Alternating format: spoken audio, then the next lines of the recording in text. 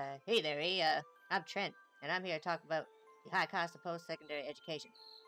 Post-secondary education can uh, influence your life, and it's associated with physical and mental health. When I was in high school, my teachers, they told me that if I work hard, I could do anything. I can have a career that I want, I can make money, have a house, or a car, or whatever. So I decided to enroll in school, but then I found out my dreams are going to cost money. The average cost of post-secondary education in Canada is almost $20,000 a year. This includes tuition, rent, food, and other expenses.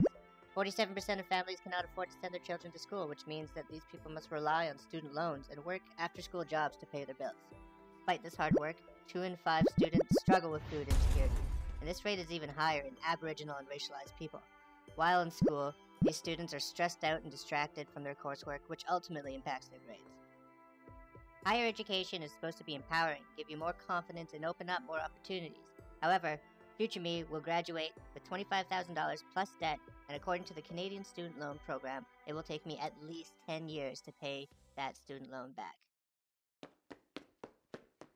Post secondary education is our road to social justice. It equalizes the distribution of wealth, opportunities, and privileges. So, access to education should be fair for all Canadians, and we shouldn't have to fight for education based on our income level.